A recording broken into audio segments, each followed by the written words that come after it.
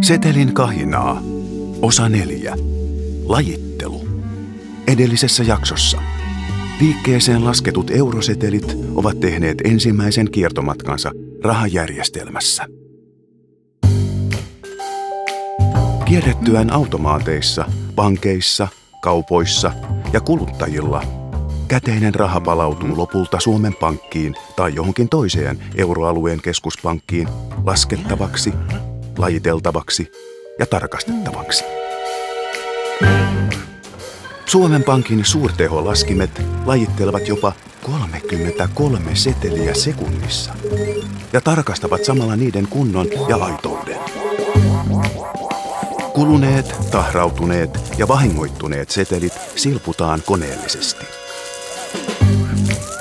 Seteleitä ei voi niiden metallipitoisuuden vuoksi kierrättää paperiksi, joten silppu hävitetään polttamalla energiajätteenä korkeassa lämpötilassa.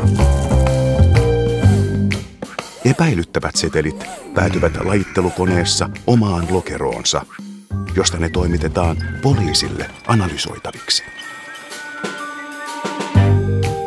Suomessa väärennökset jäävät yleensä nopeasti haaviin kaupan ja kuluttajien valppauden ansiosta. Ja viimeistään Suomen Pankin lajittelussa. Lajittelusta selviytyneet setelit varastoidaan ja palautetaan kiertoon.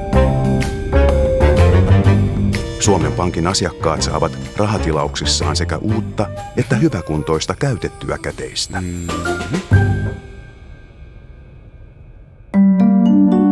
Tämä on yksi Suomen Pankin perustehtävistä.